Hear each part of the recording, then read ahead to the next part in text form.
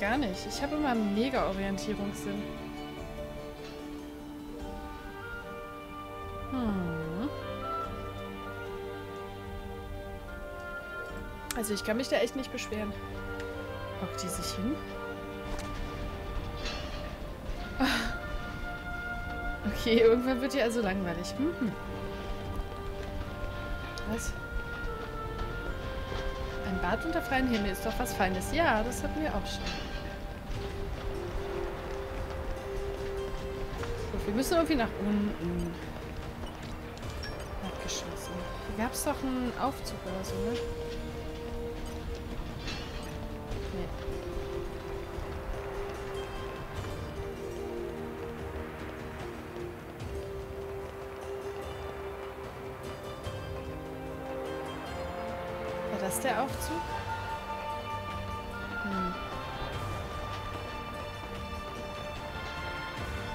Äh, ich glaube, ich laufe falsch.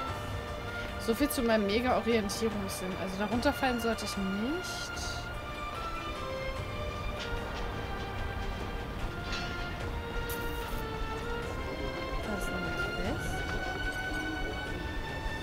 Äh, was wollt ihr? Ist was? Äh, ich habe das Gefühl, wir kennen uns. Jetzt weiß ich es wieder. Ach ja. Erinnert ihr euch an die Rekrutierung der Meister auf dem Platz in Torrigoth? Ich bin Jack. Ich wurde dort Meister. Ja, natürlich. Hallo David, herzlich willkommen. Schön, freut mich, dass ihr euch an mich erinnert. Ich bin gleich danach in die Hauptstadt aufgebrochen, um meine Ausbildung anzutreten. Und jetzt bin ich endlich ein Meister der ardenischen Armee. Ui, nicht schlecht. Mhm. Mein Sold reicht aus, um meine Geschwister etwas Gold nach Hause zu schicken. Das hilft ihnen zwar, aber sie hätten sicher lieber mich. Mama und Papa haben sie nämlich nicht mehr. Unsere Eltern haben die ardenische Armee gehasst, wenn sie wüssten, dass ich jetzt dazugehöre. Mäh? Naja, aber warum ich, äh, warum sich Gedanken darüber machen, das ist jetzt halt so. Hier in Alba Cavanish ist es jedenfalls wirklich aufregend. Ständig entdecke ich irgendeine Spezialität oder ein Spielzeug, das ich meinen Geschwistern mitbringen möchte. Leider kann ich im Moment keinen Urlaub nehmen, um nach Torrigoth zurückzukehren. Ich habe ein paar Süßigkeiten gekauft, aber die sind wahrscheinlich schlecht, bevor ich wieder hinkomme. Sollen wir dir vielleicht helfen? Das würdet ihr wirklich tun? Oh, vielen Dank. Ich hole sofort alles, was ich für meine Geschwister besorgt habe. Alice Madness Returns bekommt auf jeden Fall zu wenig Aufmerksamkeit. Da stimme ich dir absolut zu. Fraggle, warum lachst du? Habe ich was verpasst? Oder weil, weil ich keinen Orientierungssinn habe? Ich erinnere nur an die Raids, wo ich jedes Mal in die falsche Richtung gelaufen bin. Grundsätzlich. Kein Problem. Oh je, das ist wirklich einiges. Ziemlich schwer. Ich hoffe, es ist nicht zu viel für euch. Ja, wegen dem Orientierungssinn. Sie heißen Neil, Zählen und Morker. Merkt euch das bitte. Meine Geschwister findet ihr im Wohlviertel Gallet in Clarrigoth. Okay. Jacks Paket. Ein Wiedersehen. Ach komm, dann machen wir das Ganze eben einmal so. Schnellreise. Gormel, Torrigoth. Äh. Das müsste hier, glaube ich, sein. Oder? Stecke. Ich denke, das müsste da irgendwo sein. Meh. Long journeys make Dora tired. What will we find? What will we buying? Mann, ich habe bald echt keine Lust mehr. Aber wenn interessiert es sie schon. Nia, Schweigepause irritiert Poppy. Warum geht Gespräch nicht weiter? Sekunde, Poppy. Ich glaube, da kommt gleich noch was. Ach, ich arbeite im Holzschlag von Nok Noklia beim Nacken des Gormot-Titan. Wir gucken uns währenddessen mal äh, Tora beim Tanzen zu. Mithra tanzt auch. Äh, wir schuften da Tag ein, Tag aus. Sie tanzen schon wieder. Fällen einen großen Baum nach dem anderen. Aber vor kurzem sind uns mehrere Dutzend Baumstämme gestohlen worden. Das ist harte Knochenarbeit, was wir da machen. Diese Bäume sind echt riesig und verdammt schwer.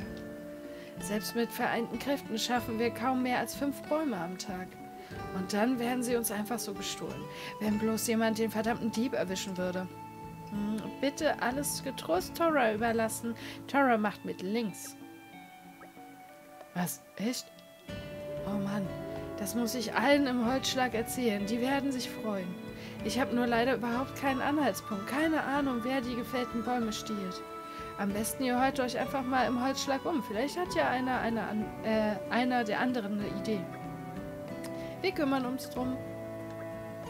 Ich werde danach kommen und mir anhören, was ihr bisher dahin, bis dahin herausgefunden habt. Man sieht sich. Künstlerleiden. Ich finde einfach keine Schuhe, die ich mir zum Geburtstag kaufen kann. Aber was Design angeht, bin ich sowieso sehr speziell. Schuhe? Äh, so Richtung Turnschuhe oder was meinst du? Oder so ein richtig gutes Paar Business-Schuhe. Oh, die können richtig geil aussehen. So zu einer, zu einer Jeans. Hm. Wenn man so ein richtig gutes Paar Schuhe hat. Ja. Oder Stiefel. Stiefel sind auch geil. Ist ja gerade da runtergesprungen? Tolle Katze. Ich glaube, ich muss darüber, ne?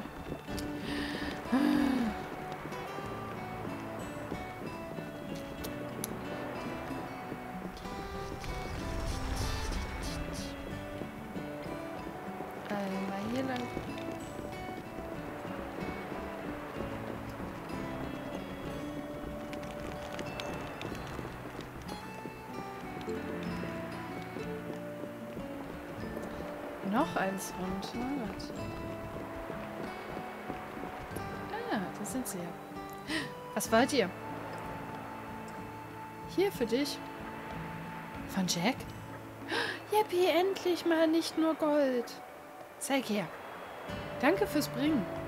Seit unser Bruder Meister ist, haben wir immer genug Gold zum Essen, und, äh, um Essen zu kaufen.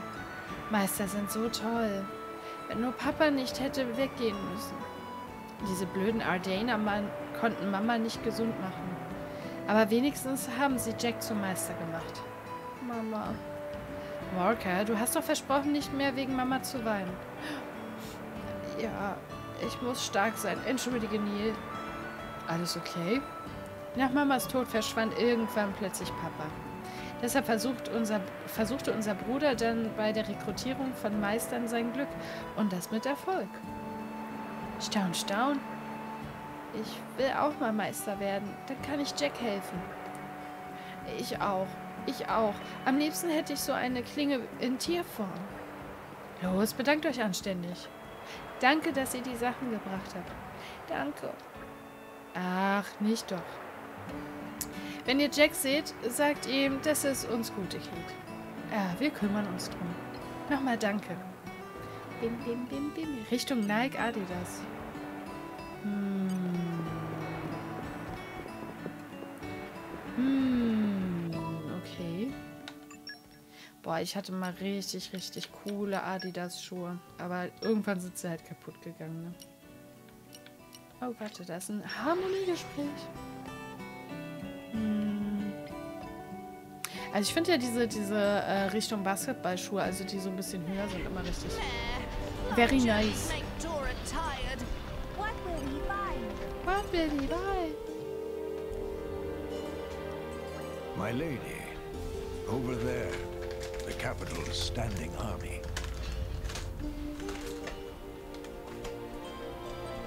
I see him. Let's keep our distance, yeah? Best let sleeping Gogos lie. Good call. Be not alarmed. The troops that captured us were Ardanian military, yes, but from the Gormati regiment. Those aren't the same? Hmm, quite different, in fact. One can learn many things while in a Titan battleship's brig, and I made good use of the opportunity. They chucked me into solitary, so I don't know anything. It does seem they have separate procedures for blades and drivers. In any case, once I abandoned thoughts of staging a breakout, I did make sure to keep my ears open for intelligence. Did you hear anything else? Hmm, Let me think. The soldiers over there are, as I said previously, from the capital's garrison. But those other ones actually belong to the 1st Imperial Guard 2nd Battalion. Huh. What's the difference? Beyond the bridge is Hard Hay Palace, the Imperial residence. Therefore, Oh, I've got it. The palace guards belong to a different unit. Of course. Indeed. Then, above the Imperial Guard rank and file, you have the Carrick Special Guard Unit. And higher yet, the Special Inquisitor, the Flame Bringer herself. Wow. Ah, me's man. I could never deal with all this hierarchy crap.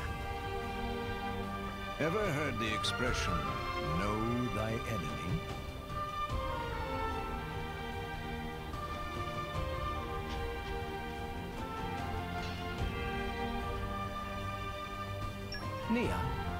Was Torna organized? Tona? It was all centered around Jin. Not exactly structured, though. But we all had our assignments. What was yours, Nia? I was... Nap time specialist. Shut it. I was a general support.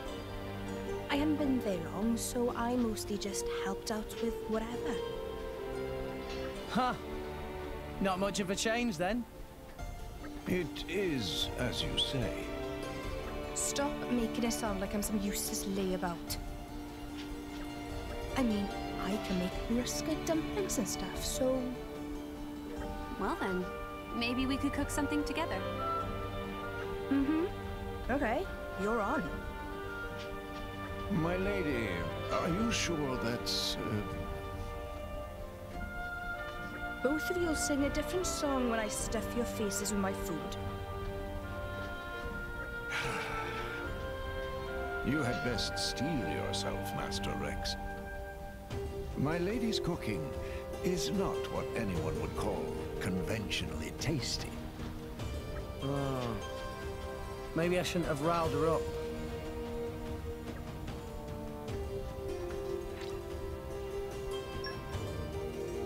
Ja, ja. Poppy ist gleich wieder da. Poppy Power! Da ist sie.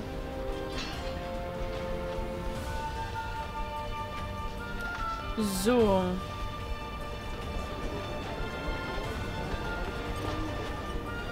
Frage ist, kriegen wir irgendwo Dumplings her?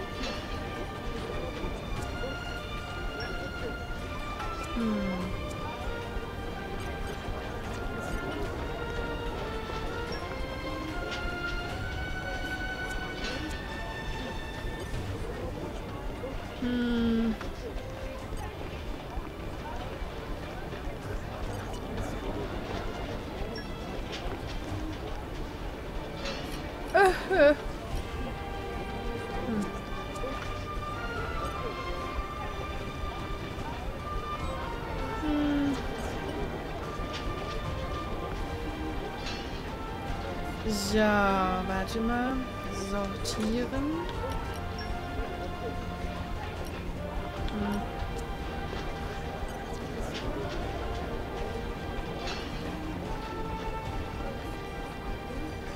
Der ist er ja, der ist er ja. Echt heftig, wie Billy Poppy ist. Poppy ist auch einfach geil. Wo ist sie denn da? Ich meine, guck sie dir an. Es ist einfach so süß. Oh, warte. Gibt es hier Dumplings? Hm.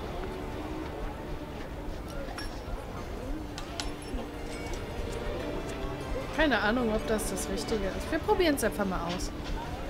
Poppy ist mega, absolut.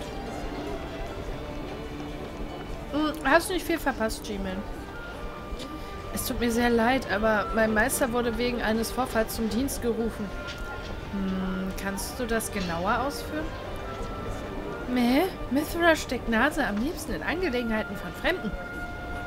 Ich habe gehört, wie irgendwer ist ermordet worden. Was? Es ist in der Thermaquelle Smuide passiert. Vielleicht könnt ihr dort nach ihm suchen. Ja, alles klar. Dann sehen wir uns dort. Oh, ich erinnere mich an die Quest.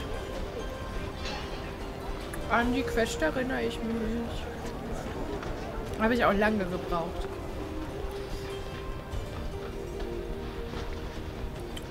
So, mal gucken. Laufe ich richtig?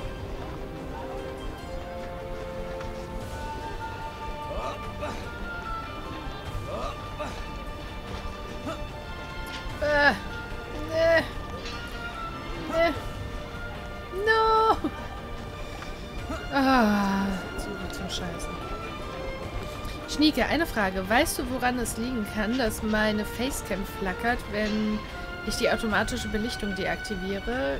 Äh, kann die nicht aktiv lassen, sonst zerhackt es mir den Greenscreen.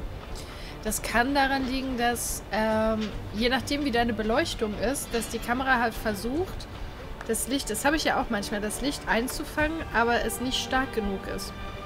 Das heißt, entweder, ja, eigentlich das Einzige, was du machen kannst, ist, dass du versuchst, möglichst ein gleichmäßiges Bild mit deinem Licht hinzubekommen. Das habe ich ja auch manchmal, dass das so anfängt zu flackern und ich dann hell, dunkel, hell, dunkel bin. Ähm, das kannst du nur dadurch ausgleichen, dass du es äh, noch einen Tick heller machst oder eben gleichmäßiger. Jedenfalls hat das bei mir geholfen. Mithra erinnert mich stark an Ishtar von Fate. Okay. Ich bekomme richtig Streifen, also Schwarzstreifen im Bild. Hm. Was hast du denn für eine Kamera?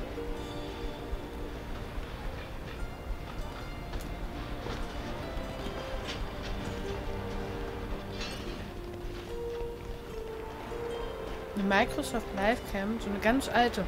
Dann kann es vielleicht daran liegen, weil sie so alt ist. Hm.